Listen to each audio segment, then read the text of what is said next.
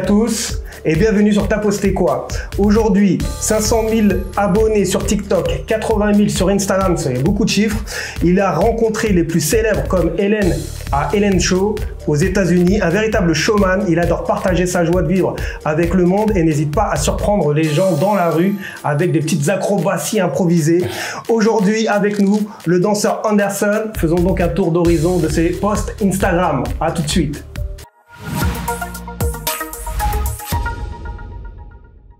Salut, ça va? Donc, euh, j'espère que tu vas bien, que tu es bien posé. Ça va, je suis très bien, à l'aise, parfaitement. Est-ce que tu peux faire une petite présentation de, de ce que tu fais, de toi, de, de- de ton environnement? Alors, euh, voilà, Anderson Aron, je connais. Euh, danseur, freestyler, performeur. Euh, je fais énormément de street shows, de spectacles de rue, spectacles un peu partout, tournages, etc. Et je crée du contenu sur Internet, voilà, sur euh, toutes les plateformes à peu près. Ouais, j'ai vu que tu étais sur plusieurs réseaux. Bon, moi, je Ouais. connais pas tous tous les réseaux sur lesquels tu es, parce qu'il y y a des nouveaux un petit peu euh, euh, réseaux. Nous, on est vraiment concentrés sur Instagram. Yes Et, euh, et c'est pour ça qu'on va commencer sur la première photo. Donc cette photo, bien sûr, on Ah est tombé ouais. dessus. On a dit bon, le gars, il, il doit peser parce que dé- déjà, il est euh, Il est- bras dessus, bras dessous avec euh, avec Will Smith. Ah comment ça s'est passé cette euh, Ah, rencontre Il y, a du talent dans ce. Dans, sur cette Ouais, il y a photo. des- ouais, c'est vrai. Bah en fait, euh, euh, Will Smith, euh, Will Smith, on connaît tous Ouais, Will ouais. Smith, Will Smith. Donc il a sorti son film Gemini Man et tout, et il voulait faire la promo de son film et euh, avec des Français, enfin faire la promo pour la France et tout. Et là en bas, on voit Mr Flashboy. Donc Flashboy, en fait, c'est c'est un gars qui fait énormément de montage avec des effets vidéo, genre vraiment euh, un truc de ouf et tout. On dirait qu'il vient du futur. Juste quand on voit la, ah un mec qui vient du futur. Et donc, du coup, il a été contacté pour pouvoir faire une vidéo et faire la promo du film.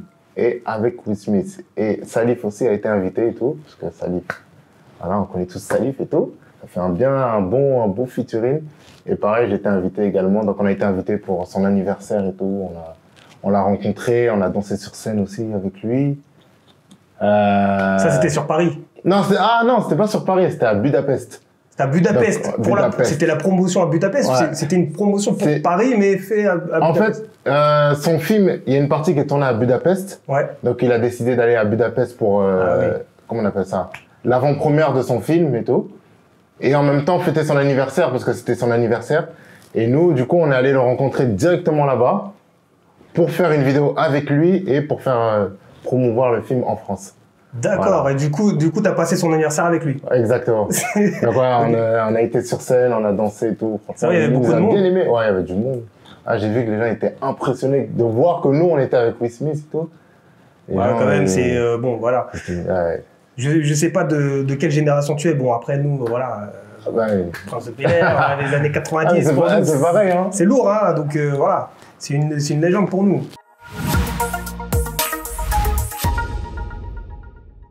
En, fait, on a pris cette photo pourquoi Pourquoi Non, je veux savoir pourquoi. Voilà, parce qu'on a vu des chèques, on a dit peut-être qu'il veut partager avec nous. Bon, on va lui poser la question quand même s'il lui reste un petit peu de, de dollars. Donc, euh, Ah, non, non, plus sérieusement, c'était. On, on a vu que bon, tu étais sur euh, Hélène Show, donc avec euh, tes collègues. Une énorme expérience avec mon groupe Undergrove et tout. Voilà. Salif a été une première fois déjà en solo et tout. Il est retourné et tout avec le groupe. Euh, voilà, on a performé sur le plateau. Ils nous ont fait une première surprise. Ils nous ont dit, on vous offre des pulls. On était, waouh, ils nous offrent un cadeau, tu vois, c'est lourd. hein. Déjà, tu vas aux États-Unis, on t'offre un cadeau, des pulls, waouh, et tout. Et de là, et de là, elle a commencé à sortir un premier chèque et tout, au nom de Salif. On a fait, waouh, 10 000 dollars et tout, waouh, choqué. Bon, les deux autres, ils ont pas compris. Sidi et JK, je vous dis la vérité, ils ont pas compris. Parce qu'eux, ils parlent vraiment pas anglais, tu vois, ils parlent pas anglais. Et ensuite, elle nous dit quoi? Euh, and I give you, for you, 10 000 dollars, encore 10 000 dollars pour, euh, pour nous trois et tout. Et là, on a fait, dit, euh, ah, c'est bon, là, je vais pouvoir payer le billet d'avion pour rentrer, même pas. non, c'est vrai, ils ont tout charge et tout. Et ouais, mais eux, sur place aussi, ils ont pas compris. C'est-à-dire qu'on voit la vidéo et tout, même s'il dit, il, tient le chèque déjà, mais il avait même pas compris que c'était 10 000 dollars en plus, tu vois. C'est quand il a levé la tête et qu'il a regardé, il a vu, oh, il y a- il y a 10 000 dollars. Et ouais, vraiment, une grosse expérience et tout. On s'est assis là où il y a euh, les Migos. euh, Ouais, il y a toutes les stars qui partent là-bas.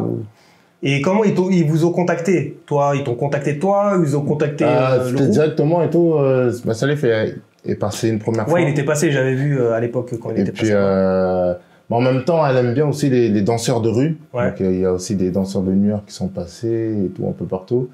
Et comme elle a vu que Salif dansait avec euh, Undergroove, notre groupe et tout, qu'on fait énormément de spectacles de rue à Paris, en même temps, c'est, ça, ça, ça l'arrange, quoi. Et tout. Et toi, j'ai pas vu de post sur ton, sur ton Instagram. Est-ce que, comme Salif, tu, tu fais des, des présentations ou des danses avec les Twins ou euh, Bruno Mars ou des, des collaborations comme ça qui viennent de, de part Ouais, et d'autre? On fait pas, pas mal, euh, je fais pas mal de collaborations aussi avec euh, des artistes et tout.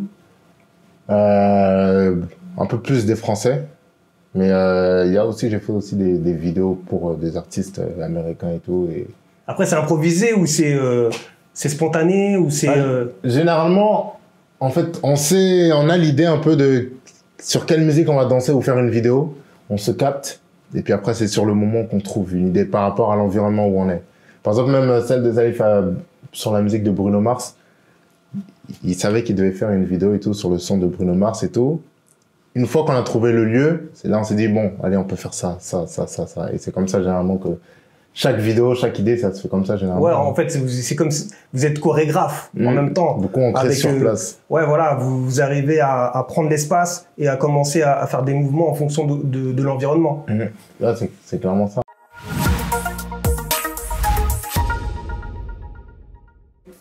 Un événement.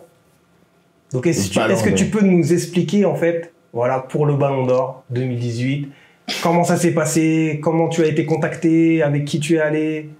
Bah, c'était pareil hein, avec le groupe, mais là, un peu plus, un peu plus grand. Euh, Il y a Poulieminkov.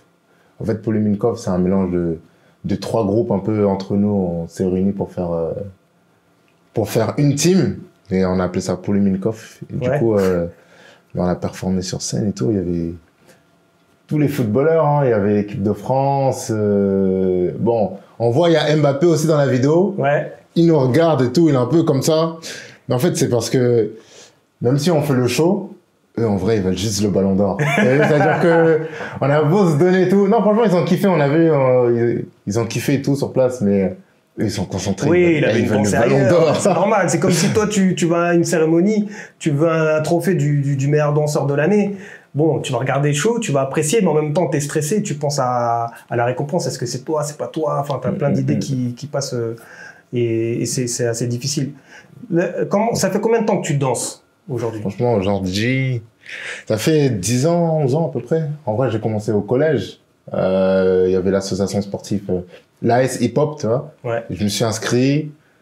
Franchement, la première année, j'ai. Et en fait, il y a des battles, collège contre collège, tu vois. Ah ouais, ça c'est bien ça. première année, moi, je- franchement, euh, la danse et moi, ça fait deux, tu vois, de base. Ouais. C'est-à-dire que la danse, là, jusqu'à aujourd'hui, ce que tu vois, c'est que du appris, c'est pas du naturel. C'est Ouais. vraiment, j'ai appris. J'ai perdu premier battle. J'ai vu comment les gagnants, ils avaient la cote et tout, genre. euh, en mode, toi, ils étaient vus comme des stars et tout, tu vois. Alors, moi, je me suis dit, alors, l'année prochaine, c'est mieux, je gagne. Et puis après, chaque année, on a gagné, on a fait des battles, tout avec Jika. On voit en plus avec un chapeau rose. Avec Jika que j'ai commencé. Ouais. Et puis après, on a, on a développé. Et les autres, les autres, tu les as connus aussi euh, dans ton collège? En fait, euh, Jika, euh, dans mon collège et tout. Ensuite, euh, on a rencontré d'autres qui étaient dans d'autres collèges, Ouais. tu vois. Et euh, eux aussi, ils gagnaient. Donc, en gros, on, on s'est unis, tu vois, pour faire une force et tout. Et euh, ensuite, on a rencontré Salif et Alex. Euh, en fait, on avait organisé un battle et tout dans la rue, genre vraiment dans la rue, des jeunes comme ça, comme nous, on a organisé un battle avec le public. Et dans ce battle qu'on a organisé, moi, je me suis mis jury. Et à côté de moi, il y avait Salif aussi en jury. Mais on se connaissait pas du tout, tu vois. D'accord, ok. Et euh, après, je sais pas, on s'est capté pour, euh, on s'est dit, venez, on va, on va danser dans la rue. Genre, on on n'avait jamais fait encore de street show, de spectacle de rue. On s'est capté, on s'est dit, ouais, venez, on va faire un spectacle de rue. Donc moi, Salif, Jika et Alex, on a fait notre premier spectacle de rue à Trocadéro. Et euh, de là, on a gardé la team et tout. Ouais, donc il y a une amitié qui s'est créée Ouais, euh, voilà, vraiment. euh, très forte. L'amitié, elle s'est fait vite, connexion vite. En plus, on avait la même passion. on a dansé dans la rue, on a gagné de l'argent, genre, c'est un truc de ouf, tu vois, genre. Pas, pas juste là- 10 000 dollars, Ouais, mais autre chose, tu vois. Mais tu vois, t'es au lycée, tout ça, tu, et tu vas danser dans la rue, tu vois, tu te fais des sous alors que t'es au lycée. Franchement, c'est un truc de ouf, tu vois. Ouais, ouais, c'est bien. Et, et après, on s'est dit, vas-y, demain, on recommence. Après-demain, et puis tous les jours, tu vois, il y a Entraînement sur entraînement. entraînement, et en même temps, on partage avec le public, et en même temps, on gagne de l'argent. Qu'est-ce qu'on peut avoir de plus, tu vois? Ouais, ouais. On a, on, a, on a privilégié en fait cette vidéo tout simplement pour montrer et te poser des questions justement sur ton, ton entraînement physique. Est-ce que tu Mhm. t'entraînes beaucoup? Franchement, en fait, je vais dire la vérité, c'est vraiment plus au début, je me suis beaucoup entraîné. Après, j'ai un peu lâché et tout. Mais euh, tout ce qu'il y a eu au début, ça reste, en- ça reste dans le corps et tout, tu vois. Ouais. Mais euh, on est obligé d'être en mouvement physique tout le temps. On est obligé de danser, faire du sport, des acrobaties tout le temps. Si j'arrête, si j'arrête, euh, je le ressens dans mon corps, tu vois. Parce que là, il faut avoir une rigueur quand même assez, euh, assez soutenue pour, euh, pour Mm. justement la danse, le souffle, le cardio, euh, tout ce qui est musculaire. En fait, c'est ça. En fait, faut apprendre vraiment, prendre la base et tout et apprendre. Et après, il faut vraiment pratiquer tout le temps, tout le temps, tout le temps pour pas perdre et pour euh, garder la condition physique. Là, ça fait combien d'années? Et- Parce que pour faire ce que tu fais là dans cette vidéo, quand même, faut, faut Ouais, t'entraîner quand même. En plus, bah, dis-toi cette vidéo, euh, on est allé dans cette salle et tout. Et souvent, les gens peuvent croire que on est danseur. Vas-y, juste on s'est gigoté tout ça. Mais en vrai, c'est est des vrais sportifs, tu vois. Ouais. Et euh, j'ai voulu faire cette vidéo pour montrer que euh, je, toi, je peux sauter, je peux. Genre, c'est vraiment un réel sport, tu vois. On sait faire des pompes, Ah tu oui, vois. mais non, mais c'est pas juste des pompes, faut quand même avoir une condition physique. Tu vois. Et c'est vraiment, c'était vraiment pour montrer euh, que voilà, on est danseur et tout.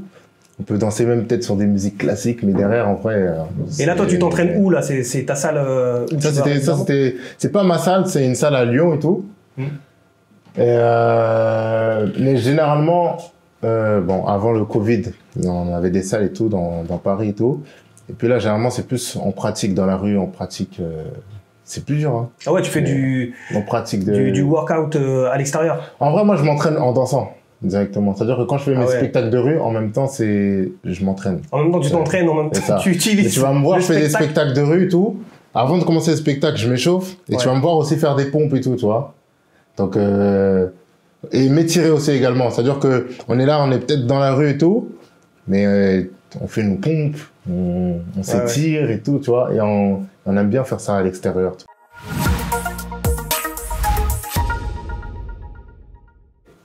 J'ai l'air d'être en vacances, non Donc, Où ça, où ça tu postes, tu postes tes, tes vacances. Donc, où tu es là? Pourquoi tu es en vacances? T'es Alors là là, T'as là- pas le droit d'être en vacances normalement. T'as vu, je poste pas énormément de photos déjà sur Instagram. Mais là, c'était récemment, je suis parti et tout avec ma copine et des potes et tout. Je suis parti à Barcelone. Déjà, tu vois, à Paris, il n'y a pas de restaurant, tout est Bah oui, fermé oui. et tout. Là, je suis allé à Barcelone, j'ai vu le soleil, j'ai vu le rest- les restaurants. Les tapas. toi, et ouais, je tenais vraiment à prendre une photo, toi, pour. euh, Et quand tu pars en vacances, tu danses dans la rue ou pas? Bah, dis-toi, tu sais que je pars euh, très rarement vraiment en vacances. Là, euh, quand je suis parti et tout avec ma copine, ça a été différent. C'était vraiment des vacances, toi. Mais généralement, nous, danseurs, quand on part en vacances, au final, on se retrouve soit à chercher des plans professionnels, parce que tu vas pas aller à New York et tu te dis, ouais, je vais juste profiter. Non, Ouais. On, on veut réussir dans la vie, donc on se retrouve à danser, on se retrouve à faire des vidéos et tout. Et euh, c'est pour ça que je dis généralement que je pars jamais en vacances, parce que si tu me dis, vas-y, viens, on va, on va profiter de tout ça à Dubaï, au final, je vais, on va pas profiter. Si tu viens avec moi, on va, je vais danser, Ouais, tu on vas va chercher, chercher des plans. des plans, tu vois. Donc en vrai, c'est du taf, tu vois. Dans tous les cas, c'est du taf. Mais là, j'étais vraiment un peu plus en mode chill, vacances et tout, genre. euh, Là, tranquille. Ouais, mode Et là, tranquille, tu as fait combien, ça. par rapport justement à ton travail et à la danse, tu as, fait, t'as, t'as visité combien de pays? Oula! Tu as beaucoup voyagé par rapport à- avec la danse. Ouais, en Europe, j'ai un peu presque fait toute l'Europe. Après Amérique du Nord, euh, Canada, États-Unis. États-Unis, j'ai que fait Los Angeles et New York. Ouais. Et euh, À chaque fois, tu es bien accueilli, tu fais, tu fais Ouais, voilà. beaucoup de promotions, tu, tu bouges beaucoup. c'est ça qui est bien quand tu es danseur et que tu, tu te déplaces pour euh, du professionnel, tu es bien accueilli généralement et tout. Et en plus d'être euh, influenceur, tu vois, C'est-à-dire que quand tu te déplaces professionnellement et que tu es invité dans un resto, tu es bien accueilli encore mieux, tu vois. Ouais. C'est ça, qui est- c'est ça qui est bien et tout. Et c'est quoi le mieux pour toi? C'est être danseur ou influenceur? Franchement, euh, moi j'aurais dit avant, juste danseur. Après, à une période, j'aurais dit c'est mieux d'être vraiment les deux. Parce que euh, toi, tu as plus de plans quand tu es influenceur et danseur en même temps, tu vois. Et à un moment donné, je trouvais que en fait, tu es obligé d'être influenceur. Si t'es pas influenceur, euh, je sais pas, genre. euh, En fait, influenceur, en en fait, dans ton cas, toi, c'est plus euh, montrer euh, ton talent et la danse pour avoir après des cartes de visite. Ouais, ouais, exact. Mais euh, surtout, en fait, j'ai l'impression que t'es obligé d'être suivi un peu, genre, Ouais. t'es danseur. Là, j'ai encore, je pense encore à une autre façon, tu vois. Je, je pense encore à autre chose. Mais euh, pendant une période, j'avais l'impression que t'étais obligé de d'être suivi et en même temps d'être danseur pour euh, avoir vraiment des plans tournage. Euh, toi, pour être appelé un peu à droite à gauche, faire Ouais. des showcases et tout, j'ai l'impression. euh, Parce que toi, t'as pas de manager. En Non, fait, tu enfin- te débrouilles tout seul. Là, je me débrouille beaucoup tout seul concernant le côté danse et tout. Après, j'ai une manageuse aussi qui gère euh, des partenariats réseaux sociaux et tout. Ouais. Mais euh, sinon, côté danse, en vrai, si t'es suivi, c'est plus facile, largement. Mais là, encore, je pense encore autre chose. Alors d'aujourd'hui, je trouve que ça va avec euh, toute la situation Covid et tout. Si t'es juste danseur, maintenant, ils veulent juste le talent. Donc en vrai, ça peut aussi le faire. Ouais. Là, on va passer à tu postes quoi? Alright. Alors, tu postes quoi? Film ou série Euh, bon, ma série préférée, Power. Franchement, Power, ma série préférée. En film, franchement, je, je m'endors. Non, je m'endors. C'est trop long, quoi. je peux pas. Mais c'est vrai que les séries aujourd'hui, les séries, en fait, elles sont. Il y a tellement un fil conducteur que tu, tu vas rester accroché. Tu regardes la- le premier épisode, tu vas Mm. regarder le deuxième, troisième, C'est quatrième. ça, parce que déjà, une série, c'est c'est plus court. Une heure maximum, tu vois. Ouais. C'est-à-dire tu t'endors pas en une heure. Après, tu recommences une deuxième. Et tu recommences, tu vois.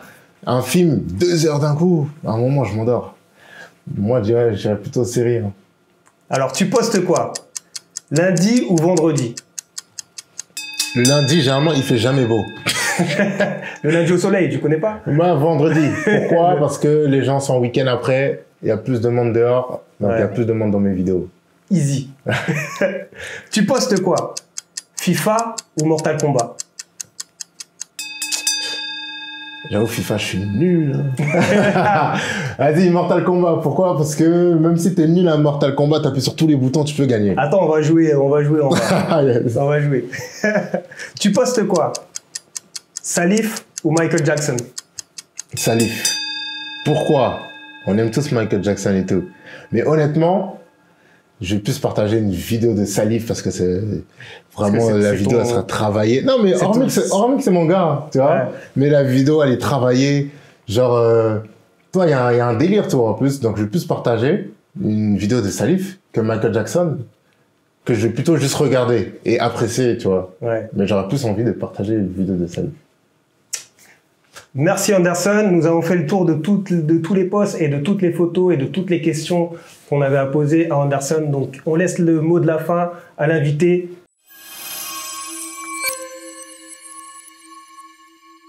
Mot de la fin, continuez de poster. Continuez de poster, c'est important. Ça va vous ouvrir des portes.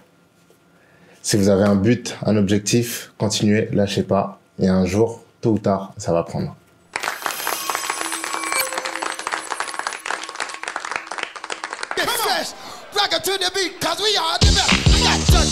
And Biz Marquee. Rock it to the beat in the place to be. We got Biz Marquee and DJ 20. So hit me with the horns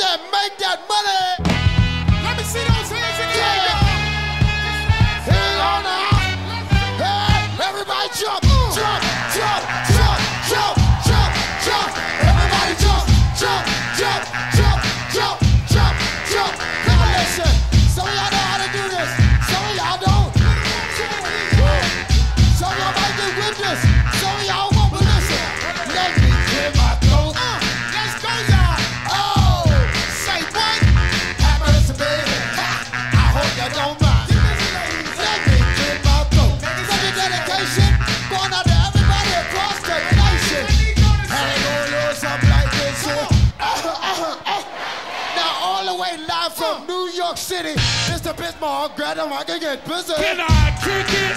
Yes, you can. You know that I can do it with the mic in my hand. Yeah. Ah, you remember that? Oh, oh, one, two, yo, that is fat. Tick tock, tock, a tick tock, a do the No matter what I say, it always come on fly. The ladies in here, you like fruit in a cup. I'm in love. I'm all shook up. Yo, Dougie Fresh, my fella, my man.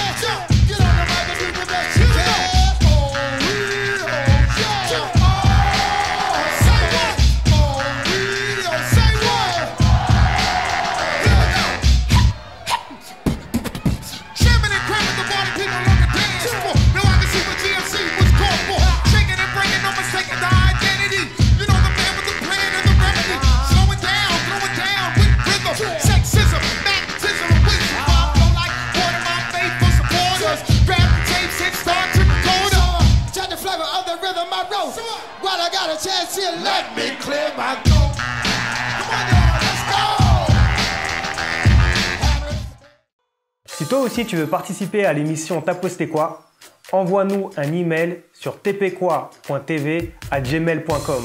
Vous nous trouverez également sur YouTube sur tapostéquoi.tv. Abonne-toi également pour avoir toutes les actualités de notre chaîne. A très vite